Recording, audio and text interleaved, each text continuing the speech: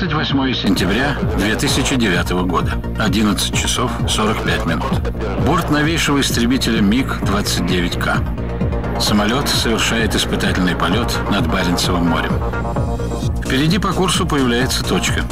Это тяжелый авианесущий крейсер «Адмирал флота Советского Союза» Кузнецов.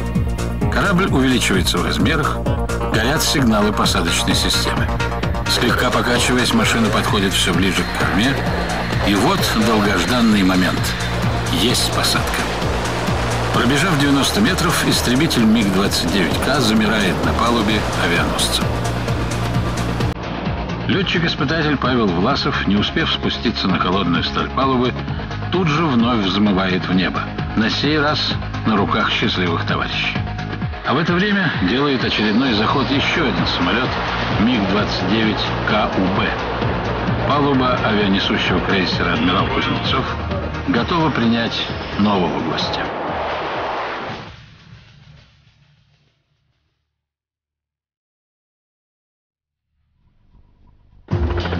Тяжелый авианесущий крейсер «Адмирал флота Советского Союза» Кузнецов. Этот корабль был создан в эпоху Холодной войны, пережил распад СССР, а теперь несет боевую службу в новой России. Рожденный на сломе исторических эпох, авианосец сменил несколько названий. При проектировании он назывался Советский Союз. Заложили его на стапеле под именем Рига. Спустили на воду уже с надписью на борту «Леонид Брежнев». А испытание он проходил как Тбилиси. С 90-го года авианосец носит имя адмирала флота Николая Герасимовича Кузнецова. Николай Кузнецов возглавлял военно-морской флот с 39 по 55 годы. Именно он настаивал на строительстве авианесущих кораблей в Советском Союзе. В настоящее время Кузя, как ласково называют моряки корабль, единственный в составе российского военно-морского флота авианосец – Хотя официально в России такого класса кораблей не существует. В отличие от классических авианосцев, таких, например, как американский немец, адмирал Кузнецов имеет помимо авиагруппы мощное наступательное и оборонительное ракетное вооружение. Поэтому отечественный корабль отнесли к классу тяжелых авианесущих крейсеров.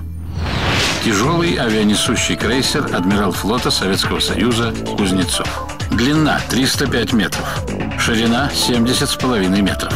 Водоизмещение 58 тысяч тонн. Мощность силовой установки 200 тысяч лошадиных сил. Скорость до 29 узлов. Дальность плавания до 8 тысяч морских миль. Крейсер разработали в Невском проектно-конструкторском бюро в Ленинграде. 1 сентября 1982 года корабль был заложен на стапеле Черноморского судостроительного завода в Николаеве. В создании авианосца принимали участие около 700 предприятий всего Советского Союза.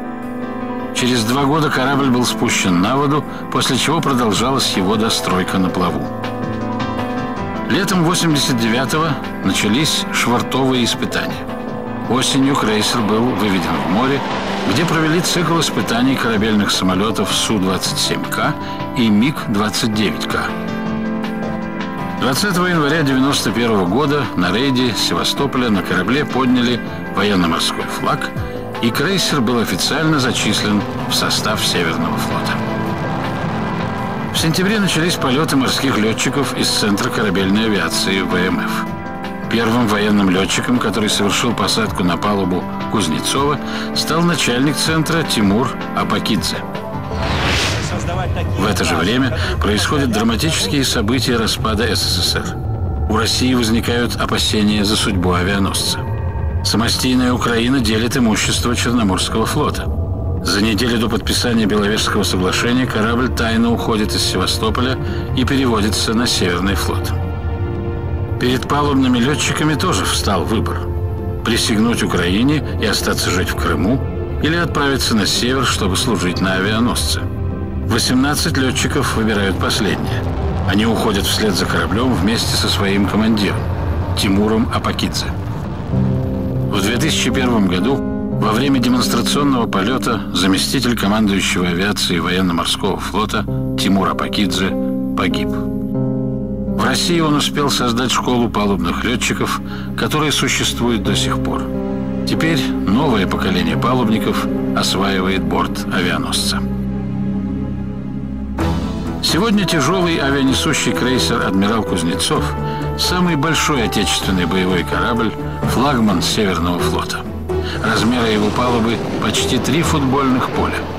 Высота от ватерлинии до высшей точки антенны равняется высоте 22-этажного здания. Экипаж с авиагруппой и штабом около 2000 человек. Корабль такого класса – это сложнейшая многоуровневая система с огромной инфраструктурой. Авианосец смело можно назвать плавучим городом. На крейсере можно легко заблудиться. Общая протяженность коридоров на Кузнецове почти 20 километров, а количество помещений доходит до трех с половиной тысяч. Члены экипажа корабля могут даже не встречаться друг с другом за все время службы. Главный командный пункт – своеобразный мозг крейсера. Отсюда производится управление кораблем, его боевыми и техническими средствами. На центральном командном пункте анализируется обстановка и готовятся данные для командира. На основе этих данных он принимает решения по использованию оружия и технических средств корабля.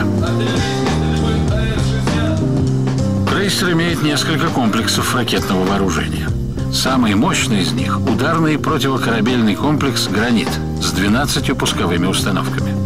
Пусковые установки размещаются под полетной палубой и закрываются броневыми крышками. Сверхзвуковая крылатая ракета имеет максимальную дальность поражения целей 600 километров. Противовоздушная и противоракетная оборона включает в себя несколько рубежей. На дальних подступах действуют четыре автономных зенитно-ракетных комплекса «Кинжал».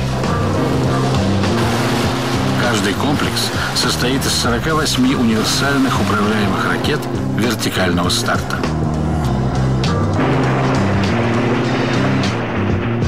Следующий рубеж самообороны обеспечивают четыре батареи зенитных ракетно-артиллерийских комплексов «Кортик». В состав каждого комплекса входит боевой модуль с двумя шестиствольными автоматами и блоками зенитных управляемых ракет. Ближайший рубеж самообороны обеспечивает 6 артиллерийских установок скорострельностью 5000 выстрелов в минуту каждая. Основным вооружением крейсера «Адмирал Кузнецов» является авиационная группа. Она состоит из тяжелых истребителей Су-33, учебно-тренировочных Су-25 УТГ и вертолетов. На корабле могут базироваться до 52 летательных аппаратов. Под полетной палубой находится ангар. В нем может разместиться 24 вертолета и 12 самолетов. Подача техники из ангара на полетную палубу производится двумя бортовыми подъемниками. На верхней палубе имеются три взлетных полосы. Одна длиной 180 метров и две по 90. В носовой части корабля находится трамплин. Каждая стартовая позиция оборудована устройством для удержания самолета. Сзади поднимаются газоотбойные щиты, чтобы предохранить другие машины, стоящие за стартовой позицией. С командно-диспетчерского пункта обеспечивается управление взлетом, посадкой и полетами самолетов в ближней зоне. В момент посадки истребитель цепляется гаком за трос аэрофинишора – всего этих тросов на корабле 4. Идеальным считается зацеп за второй трос. Для ориентирования летчика используется оптическая система «Луна». Непосредственно команды захода на посадку выдает руководитель визуальной посадки. Он находится в бронированной рубке. От точности его команд зависит жизнь летчика. Посадка – сложнейший элемент пилотирования в палубной авиации. Концентрация летчика наивысшая. Цена ошибки – жизнь. Зона посадки 46 метров в длину, 3 метра справа и 3 метра слева. Скорость самолета 250 километров в час. При этом корабль редко когда не качает на волне, и корма выписывает немыслимые фигуры. Недолет, и самолет врезается в эту корму. Перелет, и самолет уходит на второй круг. Даже когда есть зацеп гаком за трос, летчик выводит двигатель на максимальный режим. Это дает шанс уйти на второй круг в случае обрыва троса. Не будет преувеличением сказать, что палубные летчики – это элита авиации. Здесь служат только фанаты, безгранично влюбленные в свое дело. А нужны ли авианосцы нашей стране? Опыт последних войн показывает, что когда мощное государство отстаивает свои интересы, то оно прежде всего использует авиацию. Авианосцы – самое мобильное средство, которое может доставить боевые самолеты в любую точку земного шара. Защищая свои интересы, надо демонстрировать свою силу.